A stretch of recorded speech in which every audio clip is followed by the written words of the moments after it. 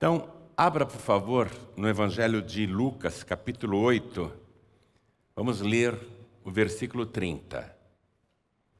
Evangelho segundo Lucas, capítulo 8, versículo 30. Se tiver alguém perto de você sem o Evangelho, divida com a pessoa a leitura.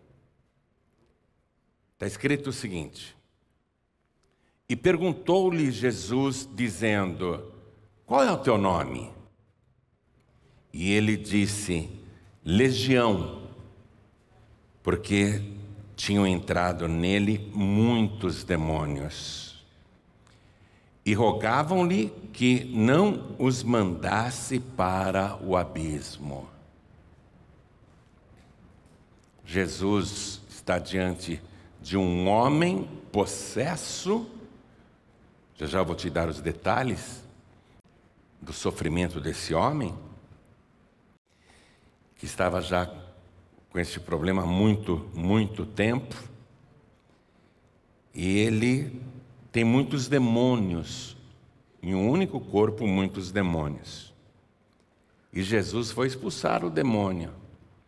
Mas eram muitos, deu trabalho até para Jesus. Não saíram todos de primeira. Ó. E perguntou-lhe Jesus, dizendo: qual é o teu nome? E ele disse: Legião, porque tinham entrado nele muitos demônios. E rogavam-lhe que não os mandasse para o abismo.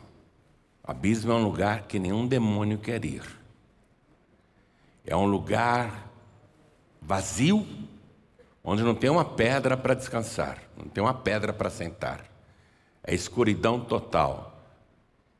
Até os demônios têm pavor daquele lugar. E eles suplicaram para Jesus que não os mandasse para o abismo. Então eu leio mais uma vez, e você que está comigo aqui na sede da Paz e Vida, repete em seguida. Vamos lá. E perguntou-lhe Jesus, bem alto, e perguntou-lhe Jesus, dizendo: Qual é o teu nome? E ele disse: Legião, porque tinham entrado nele muitos demônios e rogavam-lhe que não os mandasse para o abismo. Amém? Eu sei que hoje em dia muitas pessoas nem sequer acreditam no demônio, acham que isso é uma fantasia criada pelos mais antigos para atemorizar as pessoas, que o demônio seria mais ou menos como Papai Noel. Você sabe que Papai Noel não existe, né? É? Pensei que você ia falar, não acredito, não. não, você está brincando comigo. Tem gente que fala, o quê? Papai Noel não existe? Como? E com relação ao demônio também é a mesma situação. Tem gente que fala, imagina. Os pais da gente, os nossos avós, os antigos, falavam disso, mas o diabo não existe. E a última novidade de Satanás agora, que tem vários nomes, inclusive Exu, a última novidade é dizer que Exu é bom, como fez uma escola de samba no Rio de Janeiro, que ganhou o primeiro lugar do carnaval, inclusive. Preço baratinho, né? Melhor escola de samba do Rio de Janeiro, todo mundo ali dizendo que Exu é bom, e as pessoas que pertenciam à escola, quando eram entrevistadas, diziam: não, nós temos que melhorar a imagem do Exu, nós temos que é, retrabalhar esse conceito. O Exu não é mal, não, o Exu é bom, é um espírito bom.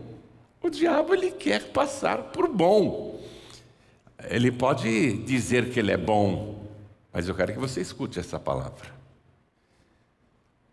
O grande truque de Satanás é fazer as pessoas não acreditarem nele, acharem que ele não existe, para que ele possa atuar livremente.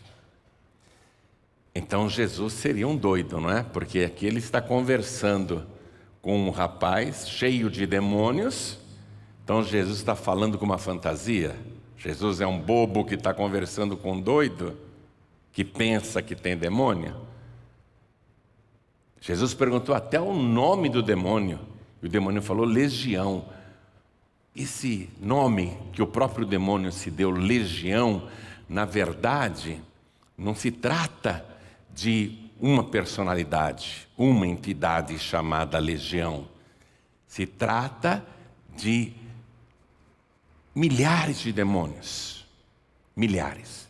É uma coletividade. Legião é um coletivo. Se a referência da época de Jesus para uma legião romana for a mesma que o demônio está usando, uma legião do exército romano era constituída de seis mil legionários, seis mil soldados. Então o demônio está dizendo que ali eles são seis mil dentro de um único homem.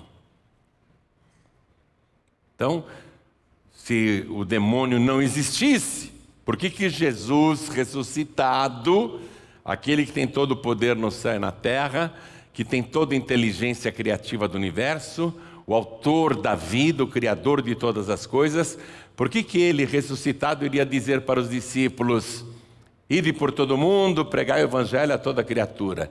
Quem crer e for batizado será salvo, mas quem não crer será condenado.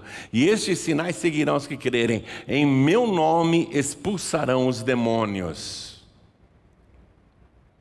Por que, que Jesus, que não há ninguém com tanta sabedoria e inteligência como ele, ressuscitado, iria nos mandar expulsar um mito, uma fantasia, uma lenda?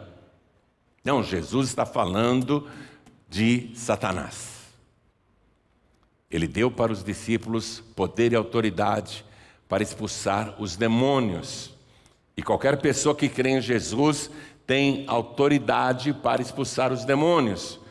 É um sinal que segue a pessoa que crê em Jesus. Então, o demônio existe. E ele é muito inteligente. E tem a seu favor milhares e milhares de anos de experiência para enganar e seduzir a raça humana. Satanás, ele, como fez com essa escola de samba no Rio de Janeiro, divulgou em rede nacional por várias emissoras de televisão e rádio, e também pela mídia impressa, ah, o Exu é bom, sim. Temos que mudar a imagem do Exu. O diabo não vai dizer que ele é ruim. Ele quer passar por bom. O diabo usa sapatos de veludo. Viu? E ele se transfigura em anjo de luz para enganar os simples, diz o Evangelho.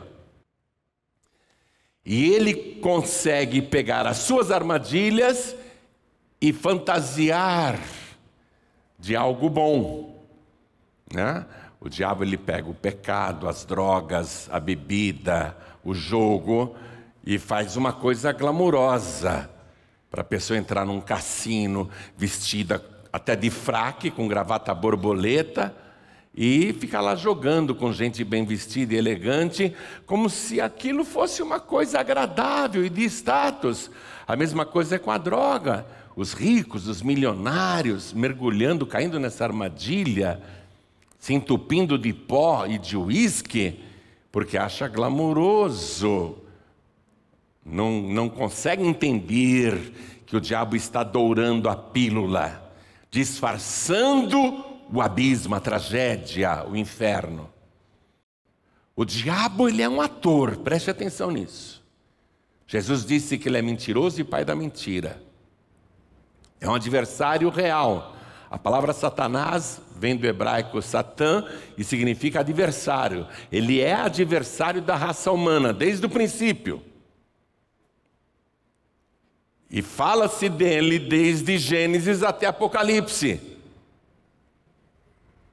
Até o fim da Bíblia, do começo ao fim, Satanás está ali agindo.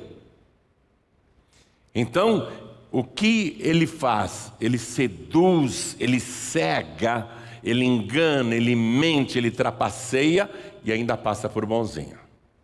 Está todo mundo aplaudindo o Exu agora. O Exu é o diabo. Ele pode falar que é bonzinho, que ele é mal compreendido pela humanidade, mas você vai ver o que o Exu faz. Você vai ver o que o diabo faz e continua fazendo. E agindo na invisibilidade. É um espírito mentiroso e covarde. Então Jesus perguntou para esse demônio, que era o porta-voz da legião: Qual é o seu nome? Ele respondeu: Legião, porque somos muitos.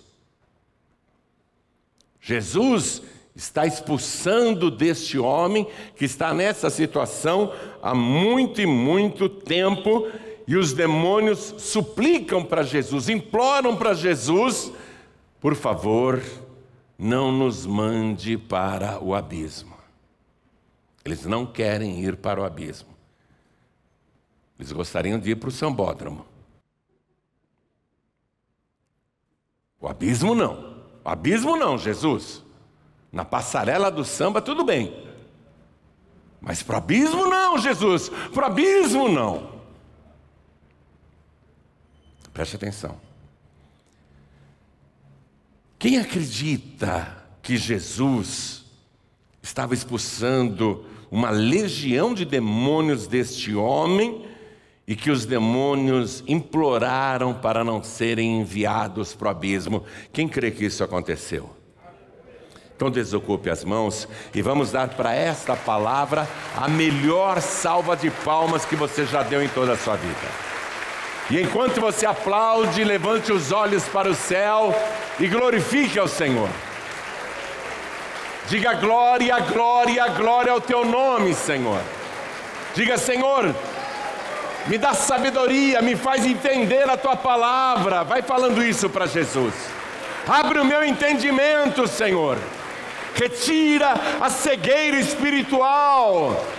Vai aplaudindo, glorificando e falando com Jesus. Não pare.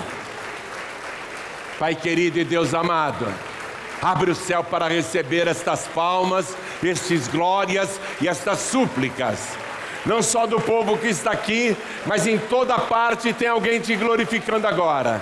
Então vem com teu espírito, vem falar com cada pessoa, fala com quem está aqui pessoalmente e com quem está à distância, assistindo pela TV, ouvindo pela rádio, pela internet. Senhor, vem com teu espírito, tome a boca do pregador, tome os lábios do mensageiro, envia a tua palavra com poder e autoridade, e que a tua palavra vá, percorra toda a terra e prospere naquilo para o qual está sendo enviada, em nome do Senhor Jesus. Diga amém, Jesus. Poder se assentar, por favor.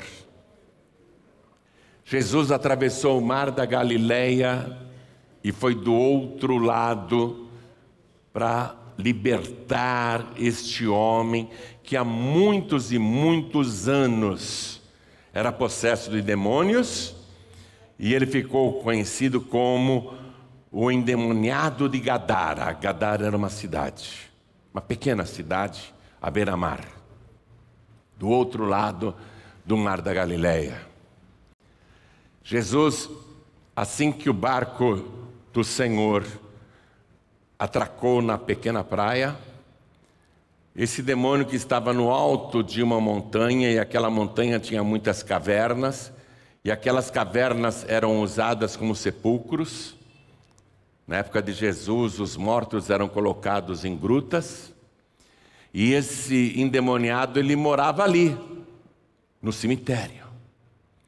Satanás sempre teve uma predileção pelo cemitério, porque o cemitério é um monumento à morte.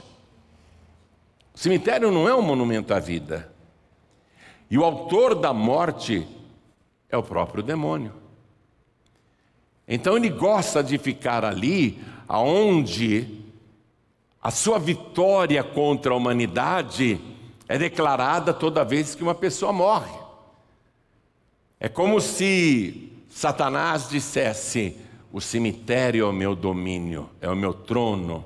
Eu criei o cemitério, eu criei a morte. E a morte vem por causa do pecado. Eu trouxe o pecado. Então Satanás ele tem uma predileção muito grande por cemitérios. Repare você que não por acaso os piores trabalhos de feitiçaria e magia negra são encomendados dentro de cemitérios. Porque ali Satanás se sente todo-poderoso. Eu trouxe a morte para esse planeta. Eu inaugurei o cemitério. Então, este endemoniado não levava uma vida normal. Ele não morava em casas, o Evangelho nos conta, nem com a família. Ele morava sozinho no cemitério e de dia e noite ficava gritando, uivando, aterrorizando Gadara. Ele era tão feroz, violento e perigoso que as pessoas tinham medo de passar pelo caminho e serem abordadas por aquele endemoniado. As pessoas evitavam passar por perto daquele cemitério. E lá, lá no cemitério, quando aquele corpo precisava matar a sede, os demônios não queriam que aquele corpo morresse. Além de fazê-lo beber água do mar da Galileia, os demônios faziam aquele moço se ferir com pedras, se cortar e beber o próprio sangue. E quando tinha fome, não ia pescar no mar da Galileia e comer peixes. Os demônios faziam o corpo daquele endemoniado violar os cadáveres e se alimentar da carne putrefada de gente morta. Ele comia carniça humana.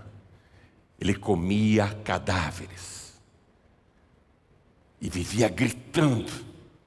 Uma vez o povoado de Gadara se reuniu, não suportando mais aquela falta de paz, e os homens valentes, corajosos disseram: Vamos aprisioná-lo. Vamos acorrentá-lo, vamos prender essa fera.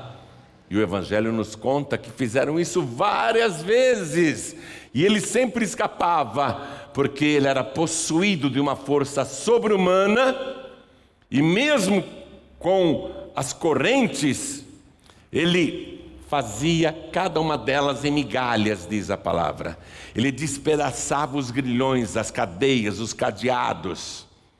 Nenhuma prisão conseguia mantê-lo. Ele tinha uma força normal. Na época não existia aço, tudo era feito com ferro, mas ele arrebentava aquelas correntes de ferro como se fossem de papel, como se fossem linho, um tecido para rasgar. Ele arrebentava e aterrorizava, todo mundo corria. Várias vezes tentaram prendê-lo. O Evangelho usa essa expressão, e ninguém podia amansá-lo. Essa era a vida desse homem há muitos e muitos anos. Alguém poderia dizer, louco, problema psicológico, problema psiquiátrico, caso de internação em hospício. E vou dizer uma coisa para você: as unidades de tratamento de pessoas com doenças mentais tem ali casos que realmente são distúrbios psicológicos, mas muitos ali dentro são pessoas possessas que acabaram internadas como loucas e que depois são medicadas com remédios fortíssimos e ficam num estado de aparente letargia e calma. Mas o demônio está lá. Os demônios agem desta maneira para levar a pessoa à loucura, ao confinamento, à destruição, à separação da família. Nesse caso aqui, os demônios tinham obtido êxito, mas como eu te contei, Jesus teve o trabalho de sair do outro lado do mar da Galileia, atravessar o mar inteiro, inclusive enfrentando uma tempestade que quase afundou o barco para ir do outro lado do mar libertar uma única pessoa. Eu vou trazer isso para você agora.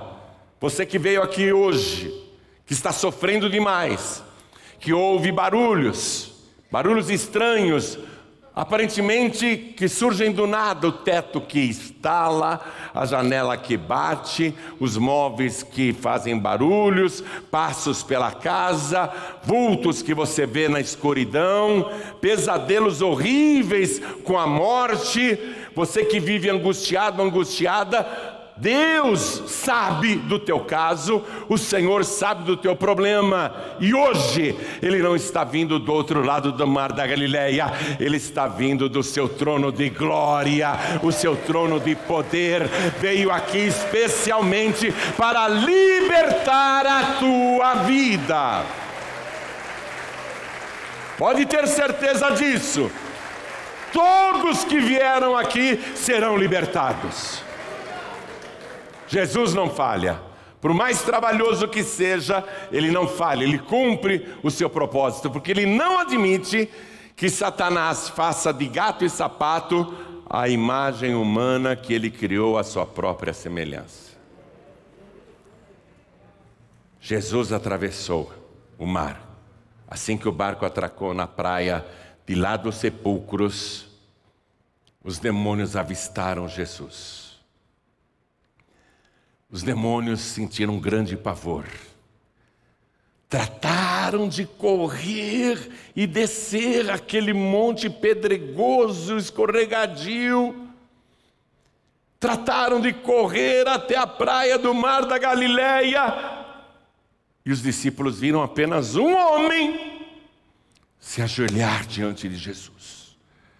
Maltrapilho, barbudo, unhas compridas, cabelo desgrenhado, sujo, imundo, cheirando mal.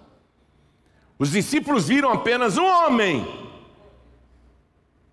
Mas os discípulos começaram a entender quando aquele homem prostrado diante de Jesus na praia do mar da Galileia olhou para o Senhor com os olhos fulminantes e ao mesmo tempo de pavor, olhos frios, congelantes, mas também apavorados.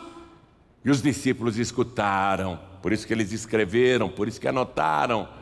Saiu da boca daquele homem. Que viestes fazer aqui, Jesus, filho do Deus Altíssimo? Vieste destruir-nos. E os discípulos escutaram Jesus dizer: Sai dele, demônio mas não era um demônio. E os demônios começaram a gritar: Se nos expulsa, por favor, não nos mande para o abismo. Qual é o teu nome? Legião! Legião é o nosso nome. Não nos mande para o abismo. Os discípulos começaram a entender que não era um homem apenas ali, não era apenas um ser mas milhares numa única pessoa. A explicação daquele sofrimento, por que, que aquele era o terror de Gadara? Ele tinha uma legião de demônios. Ninguém conseguia amansá-lo. Mas olha, olha você, olha, olha lá. É um homem, mas tem uma legião dentro dele. Vê Vê se os demônios estão ferozes. Eles estão parecendo uma criancinha amedrontada. Ai, não nos mande para o abismo. Ninguém conseguiria fazer isso a não ser Jesus, o Todo-Poderoso. Os demônios sabem quem Ele é. Os demônios têm pavor. Eu vou dizer uma coisa: a humanidade tem menos pavor e temor de Jesus do que o inferno. Os demônios sabem quem Jesus é. Já a humanidade pensa várias coisas a respeito de Jesus. Um sábio, um revolucionário, um homem inteligentíssimo, o espírito mais evoluído que já veio a esse planeta. A humanidade tem várias ideias. Um profeta, Jesus, um grande profeta, um grande mestre, um iluminado. A humanidade tem várias ideias a respeito de Jesus. Mas o inferno sabe exatamente quem é Jesus, e eu vou dizer isso para o demônio que te acompanha, para o espírito que te atrapalha, para essa entidade que foi paga para te perseguir e te prejudicar. Eu vou dizer isso para esse demônio que te acompanhou até aqui nessa igreja. Saiba, Satanás, que quem está neste lugar é o nosso Senhor e Salvador Jesus Cristo. E aonde Ele está presente, demônio, você vai ter que dar o fora, você vai ter que ir embora. E sabe para onde você vai, Satanás? Você vai para o abismo. Estou falando isso para apavorar os demônios mesmo. Esse demônio que te atormenta, que leva você para o vício, para as drogas, para a bebida, para o sofrimento, para a depressão, para o pensamento de suicídio, para o pensamento de morte. Eu estou falando essas coisas porque o demônio sabe muito bem que Jesus Cristo está aqui presente. E eu estou apavorando os demônios em nome de Jesus. Os demônios implorando: Senhor, Mansinhos, mansinhos, parecem uns gatinhos. Não nos mande. Olha, parecem, parecem umas menininhas. Oh, oh. Eram tão ferozes. Vai, demônio, até hoje você fez o que queria com essa pessoa, né? Satanás. Até hoje, demônio, você apavorou essa pessoa. Mas a tua hora chegou. Quem está apavorado agora é você, Satanás. Quem está apavorado agora é o demônio. Demônio com você, meu amigo, com você, minha amiga, era um valentão. Se divertia muito vendo teu cabelo arrepiar no meio da madrugada, andando pela casa, né? Aqueles vultos, fazendo os barulhos, às vezes aparecendo nitidamente para você. Eu sei porque eu via tudo isso quando eu era um perturbado.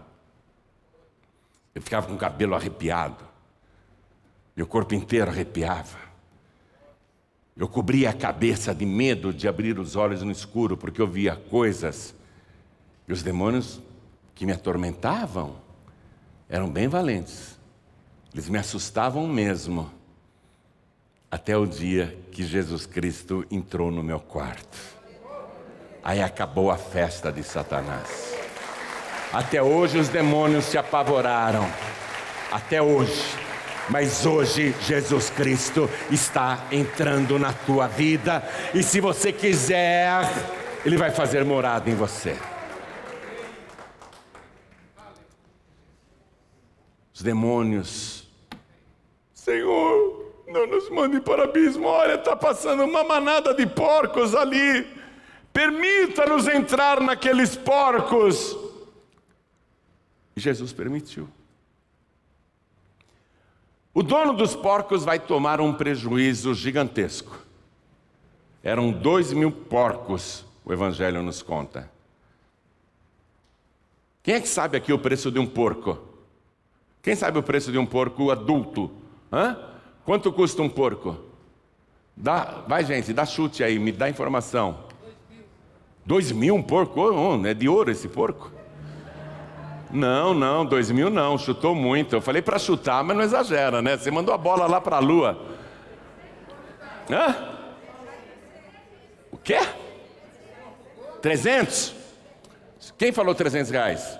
É, a senhora também? É por aí. Um porco adulto no Brasil custa cerca de 300 reais. Tem porco até de 12 mil reais, para quem falou aí, né? Tem, um, tem uns porcos bem caros aí, dependendo da raça e do peso mas estou falando de porco mesmo, esses que estão aí né, no chiqueiro, que estão aí nos quintais. Um porco popular. É mais ou menos isso que a senhora falou, 300 reais. 300 reais, viu moça? Vocês têm porco em casa? Não, né? Já criou? É. Eu lembro que o meu avô criava porco, matava ficava desesperado vendo ele matar o porco. Mas olha, 300 reais. O dono desses porcos, vai sofrer um prejuízo e Jesus não está nem aí com o prejuízo que vai causar para ele. Sabe por quê? Porque o dono dos porcos é um ímpio, não teme a Deus, porque a palavra de Deus proíbe para os descendentes de Abraão criar porcos e comer porcos. O porco é considerado um animal imundo na Torá, na lei de Moisés. Então, o dono dos dois mil porcos não é uma pessoa que respeita a lei de Deus da época, que proibia a criação de porcos, que as pessoas se alimentassem com porcos. Por que, que ele criava porcos? Quem que era o mercado daquele homem? Outros ímpios. Ele fornecia porcos para o exército romano, para os legionários romanos, porque os romanos não estavam nem aí, comiam porcos, e daí? A clientela dele, então, eram os pagãos, não os judeus. Jesus não está nem aí com o prejuízo que vai causar para esse, vamos chamar de fazendeiro, fazendeiro de porcos, criador de porcos, pecuarista. Pecuarista, né? Dois mil porcos a trezentos reais, hein? Esse homem vai tomar um prejuízo de quanto aí? Faz a conta rápida, Giancarlo, por favor. Calcula, faz na máquina para a gente não errar. Ele vai tomar de uma única vez um prejuízo colossal, ele vai à falência. Jesus vai deixar ele quebrar. Que foi, Georgia? Quanto? 600 mil reais. Na nossa moeda, esse criador de porcos vai quebrar. Vai quebrar. Ele vai tomar um prejuízo de 600 mil reais. Eu acho até que depois ele vai tentar diminuir esse prejuízo, enganando os seus clientes romanos. Porque quando os demônios recebem a permissão de Jesus para entrarem nos porcos, deu um, um estouro naquela vara de porcos.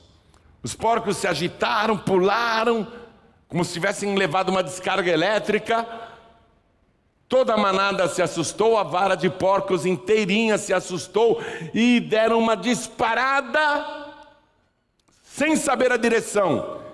E todos correram na mesma direção, todos os porcos dispararam na mesma direção, sem saber que estavam indo para o abismo. Tinha um despenhadeiro ali e embaixo o mar. E os dois porcos foram caindo um atrás do outro, um empurrando o outro e correndo para o abismo, e foram caindo naquele despenhadeiro, e o Evangelho nos conta que morreram afogados. Eu disse que o dono dos porcos vai tomar um prejuízo, mas ele vai tentar amenizar, enganando os seus clientes romanos, porque com certeza ele vai recolher os porcos mortos, vai desossar, vai cortar as carnes e vai vender do mesmo jeito. Vai fazer uma liquidação. O prejuízo não vai ser 100%. Mas acabou o rebanho dele ali. Quando os que cuidavam dos porcos, os porqueiros, assistiram aquele espetáculo terrível, ficaram tão apavorados que saíram correndo para a cidade de Gadara. Foram avisar o dono, foram avisar os moradores. A notícia se espalhou rapidamente, todo mundo com curiosidade saiu correndo de Gadara e foi até onde Jesus estava. Eles queriam ver os porcos boiando no mar. Eles queriam ver o endemoniado gadareno que ninguém conseguia amansar. E queriam ver quem era o homem que conseguiu domar aquela fera e provocar aquela notícia inédita que se espalhou rapidamente. A curiosidade dos moradores de Gadara fez todo mundo correr para onde Jesus estava. Eu vou te dizer uma coisa: Jesus vai fazer tantas coisas extraordinárias aqui neste lugar que você, sua parentela, sua vizinhança vai querer correr para cá por curiosidade para ver o que está acontecendo neste lugar e você vai ser testemunha disso.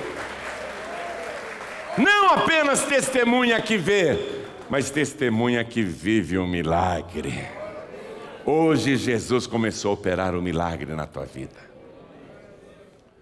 E quando a população de Gadara chegou aonde Jesus estava, eles viram uma coisa que jamais imaginaram que seria possível ver naquele lugar.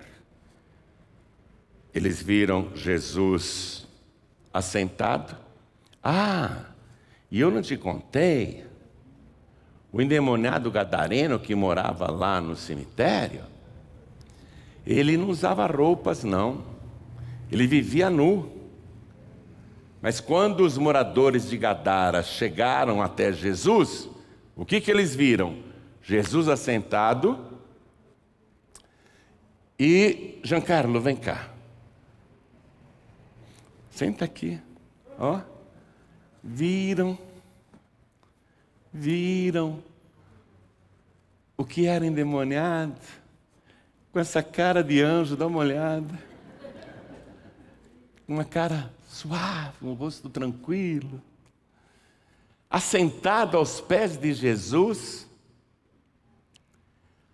vestido e em perfeito juízo. E Jesus aqui conversando com ele e ele feliz da vida. É assim que você vai andar com Jesus agora, aos pés de Jesus. Obrigado, filho. Jesus agora é assim, você e ele. Aí, quando os moradores de Gadara viram isso, temeram muito. Aquele lá não era o louco que nos aterrorizava há anos? Não era o endemoniado que despedaçava correntes e grilhões e esmigalhava as prisões? Não era ele o terror da nossa cidade? Não nos deixava dormir à noite uivando, gritando? Não é aquele que se feria com pedras, morava no sepulcro e se alimentava da carne de gente morta, ele comia os nossos parentes mortos? Não é ele que se feria com pedras no corpo inteiro? É ele sim. Dá para ver ainda cicatrizes e cortes, mas ele está vestido e com perfeito juízo. Eles temeram muito. Como isso aconteceu? Como isso foi possível? E aqueles porcos lá no mar boiando, milhares de porcos mortos, afogados, ficaram olhando o cenário, atemorizados. Volta aqui, pastor Giancarlo. E Jesus sentado, o que era endemoniado ali, feliz, calmo, tranquilo. Agora preste atenção. Os demônios não queriam ir para o abismo, certo? Pediram, suplicaram para entrar nos porcos. Jesus permitiu. Houve o estouro e eles caíram no precipício, lá no abismo, e os porcos morreram afogados. Mas os espíritos não habitam em cadáveres, sejam humanos ou de animais. Quando aqueles espíritos viram que os hospedeiros, os corpos dos porcos estavam destruídos. Quando os demônios tiveram que sair daqueles porcos mortos, seis mil demônios, era uma média de três demônios por porco. Quando eles flutuaram, enquanto os porcos boiavam, os espíritos saíram e flutuaram. Jesus disse: quando o espírito imundo sai do homem, anda por lugares desertos procurando repouso e não acha, e depois ele diz: voltarei para a casa de onde eu saí, para o corpo humano onde eu estava. Jesus contou que é assim que eles trabalham. Quando aqueles demônios estavam flutuando, tendo saído dos porcos mortos, eles pensaram: vamos voltar para aquele corpo para a nossa casa, que nós moramos muitos anos, onde bebíamos sangue, comíamos carne de falecidos, habitávamos em cemitérios, aterrorizávamos todo mundo através daquele corpo. Vamos voltar! Quando seis demônios fazem um movimento de retornar, eles são obrigados a dar uma brecada violenta. Tiveram que parar no meio do caminho. Tiveram que parar, sabe por quê? Porque o moço continuava sentado aos pés de Jesus Cristo, e aqui nesse meu filho ninguém toca, nenhum demônio, nenhuma entidade entra aqui.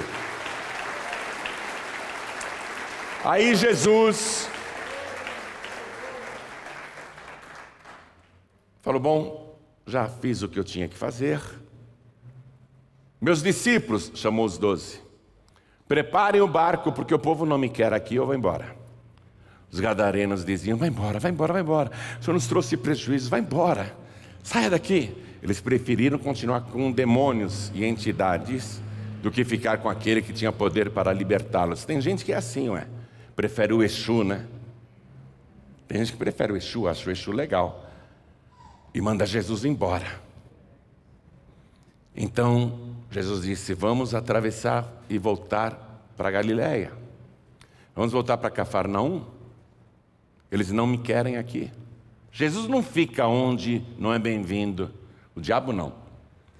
O diabo ele é um intruso. Ele é um invasor, ele não respeita nada, não respeita cabelo branco, não respeita criança, não respeita ninguém. Ele só respeita Jesus. Ele só respeita Jesus. Porque ele sabe quem Jesus é. Então Jesus disse para os discípulos: Vamos embora. Aí quando Jesus desceu a praia e foi entrar no barco, o rapaz veio atrás. Fala, deixa eu ir com o senhor. Deixa eu ir com o senhor. Não, meu filho, não. Vou voltar para Cafarnaum. Pede de novo. Deixa com o Senhor. Não, eu tenho um outro trabalho para você. Eu tenho uma missão para você. Agora que você está bem, vai para a tua casa, vai para a tua família, se apresenta, eles têm saudades de vocês, vai lá, se mostra e conta para eles quão grandes coisas Deus te fez. Vai, meu filho, vai. E Jesus disse que ele foi pregando. Imagina, fala aí para ele, fala, fala para esse teu vizinho aí. Fala, eu era o endemoniado gadareno. eu era o endemoniado que aterrorizava todo mundo. Ele foi pregando e contando para todo mundo. Mas como que você ficou bom? Ah, eu tive um encontro verdadeiro com Jesus. Hoje você vai ter um encontro verdadeiro com o teu libertador. Vou te contar um caso real.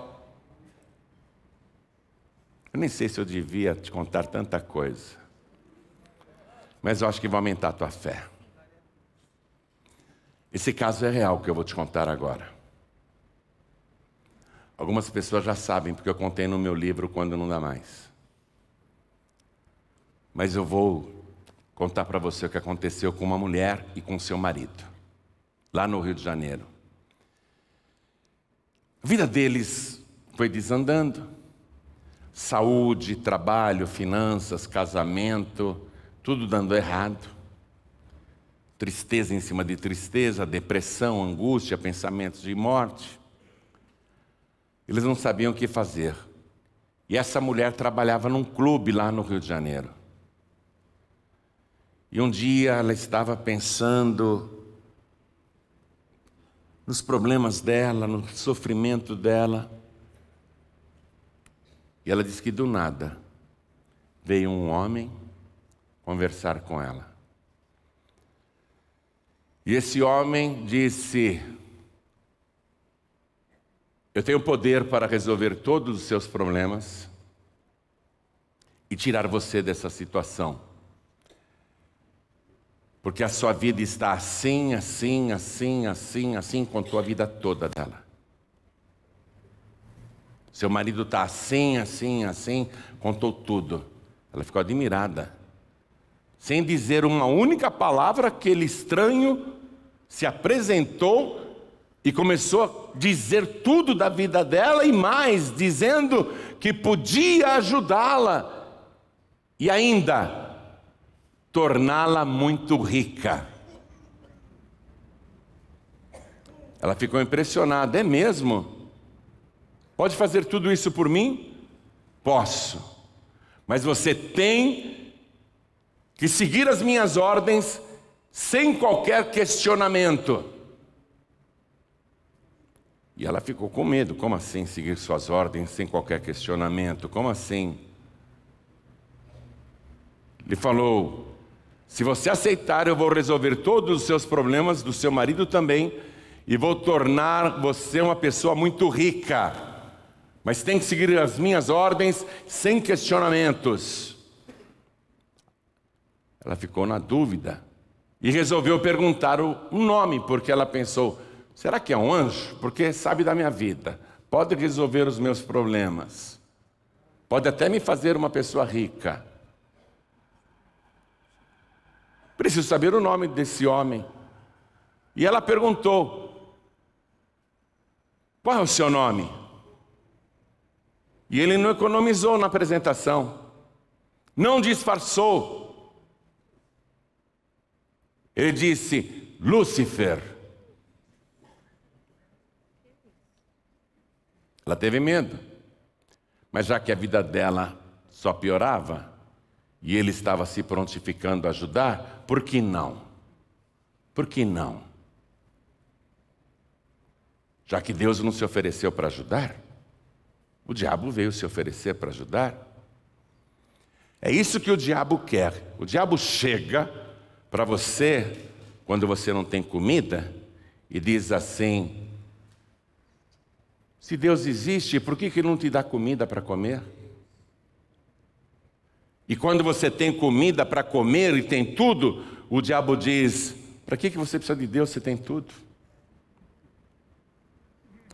E essa mulher lá no Rio de Janeiro caiu que nem um patinho, aceitou a exigência que ele fez, entre várias, mas a principal, ele disse: Eu quero que você me reserve um quartinho na tua casa e me faça um altar. Nesse altar, eu quero que você coloque uma imagem de Exu, com bastante colares no pescoço.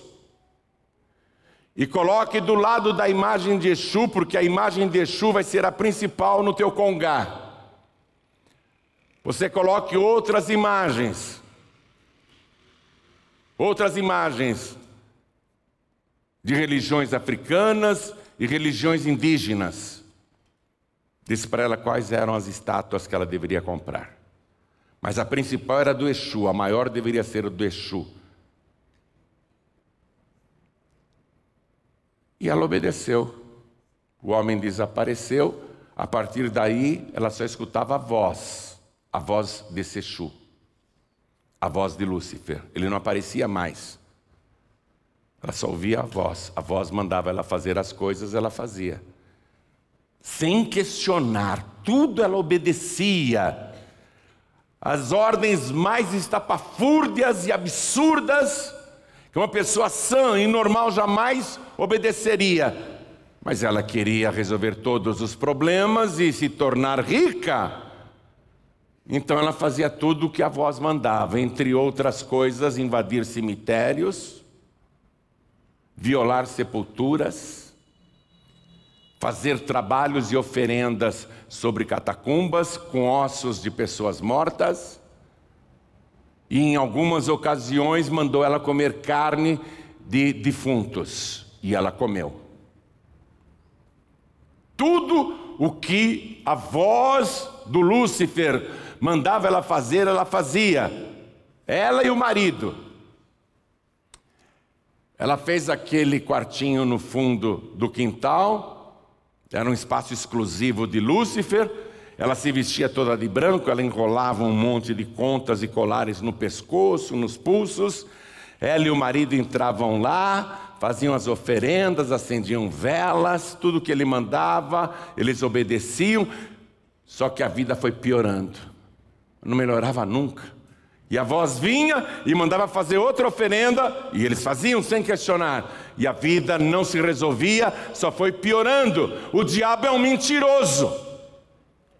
O diabo não pode melhorar a vida de ninguém. Ele pode te enganar, mas melhorar de verdade, isso ele não faz. Pode ver que todos os agentes de Satanás que ficaram trabalhando no nosso país se passavam por bonzinhos mas terminaram ou na cadeia ou numa vergonha total. O diabo é um péssimo patrão, ele paga mal até os seus empregados. E os seus súditos, aqueles que o obedecem, estão perdidos. Porque o diabo não dá nada, ele tira. Jesus disse que ele veio para matar, para roubar e para destruir. A vida da mulher e do marido foi só piorando e tudo que a voz do Lúcifer mandava ela fazer, ela fazia. Ela contou, ela foi lá na Paz e Vida do Rio de Janeiro contar isso. Esse testemunho está gravado. Nós temos as provas dela declarando tudo. Ela contou para milhares de pessoas ali no Rio que numa noite ela entrou toda vestida de branco, com colares e contas, e o marido com ela, entrou no congá e ela estava em frente à imagem do Exu. E ela escutou uma voz que disse: Liga o rádio. Ela pensou que era o Lúcifer mandando. Ela obedeceu na hora e ligou o rádio. Quando ela ligou o rádio, eu estava pregando lá no Rio de Janeiro. E o trecho que ela ouviu foi exatamente esse: O diabo não pode dar nada para ninguém. Só Jesus Cristo pode abençoar a tua vida e Ele tem poder para desfazer qualquer pacto. E em nome de Jesus, eu desfaço agora todo o pacto do diabo. Ela ouviu isso no rádio naquele exato momento. Ela disse que os cabelos arrepiaram quando ela escutou isso, e os colares que estavam em volta do pescoço, as contas, arrebentaram, sem que ninguém tivesse colocado a mão. E as bolinhas foram se espalhando pelo chão. Ela ficou mais assustada ainda. Aí ela olhou para o Exu. O Exu tinha vários colares e contas. Os colares no pescoço do Exu também começaram a arrebentar sem que ninguém colocasse a mão. E as estátuas, as imagens ao lado do Exu, sem nenhum dedo humano, foram tombando uma a uma, caindo, despedaçando, e por último, a imagem do Exu balançou e caiu por terra, para a honra e glória do nome de Jesus. E no rádio eu dizendo: quer entregar a vida para Jesus? Se ajoelha diante do teu rádio. E ela chorando, chorando muito, ela e o marido entregaram a vida para Jesus. Foi liberta. Aí ela veio lá na Vila da Penha, no Rio de Janeiro, contar esse testemunho. Ela era uma gadarena mas agora é uma serva do Deus Altíssimo, é uma serva do Deus Todo-Poderoso. Agora ela não fala mais de Exu, não, ela fala de Jesus. Agora ela fala de Jesus, o seu libertador, e mais que libertador, o seu salvador. Toda a igreja fique de pé, por favor.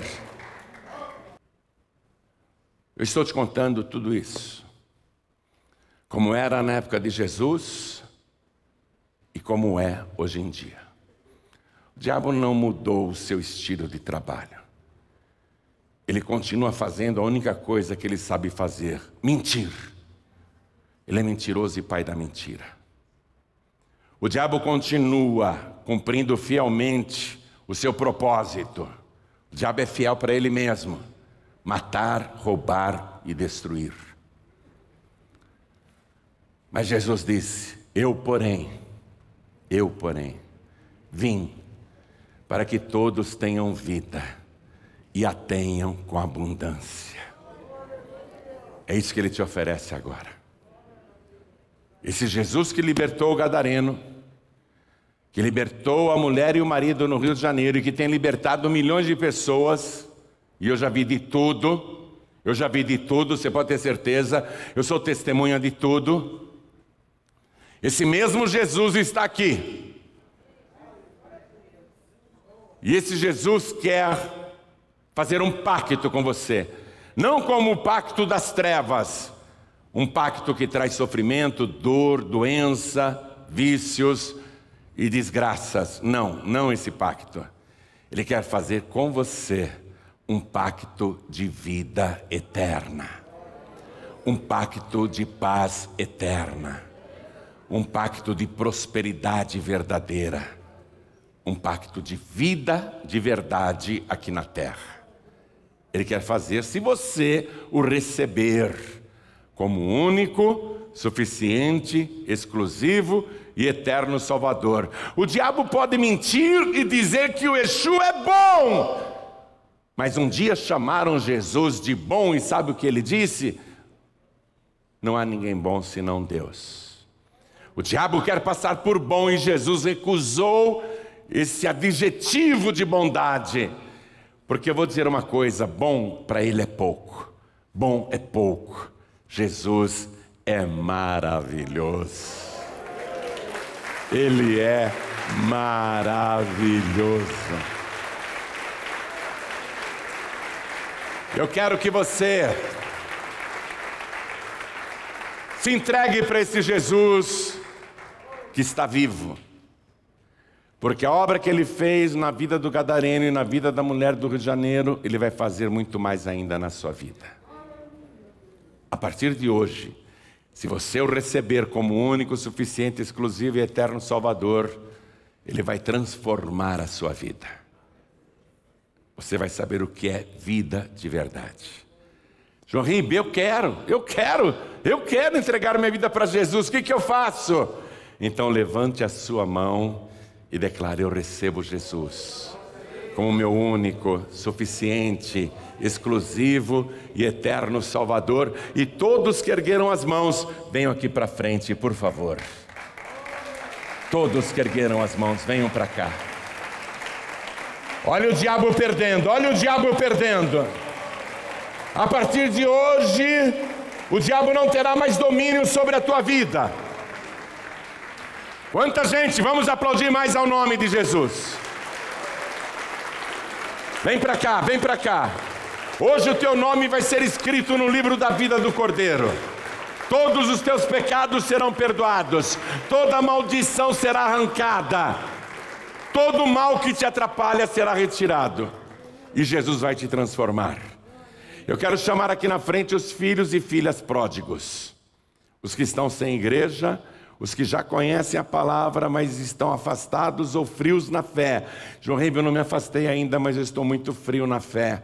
Hoje eu senti a minha fé renovar. Então vem aqui para frente se você quer renovação da tua fé.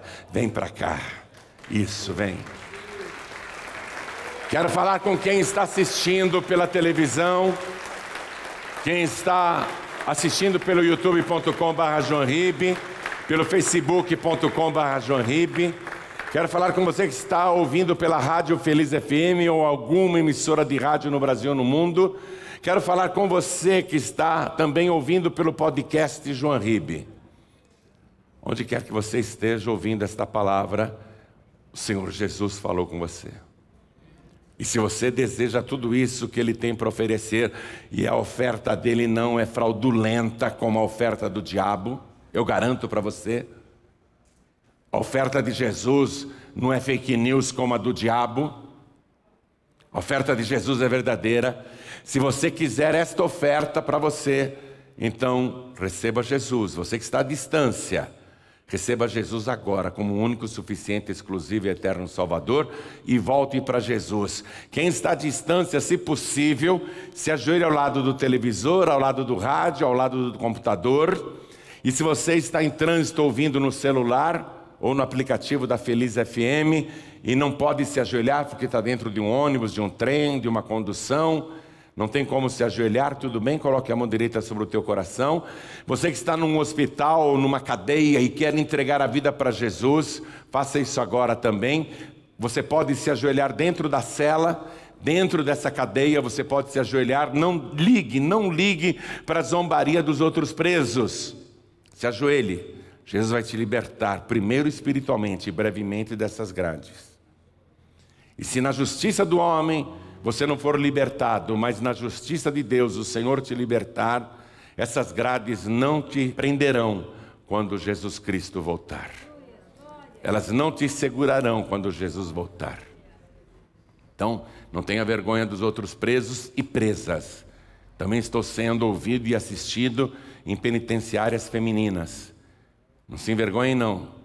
Jesus disse: Quem me confessar diante dos homens, também eu confessarei diante do meu Pai que está nos céus. Se ajoelhe dentro da cadeia. Isso, isso mesmo. Como nós vamos nos ajoelhar aqui na frente.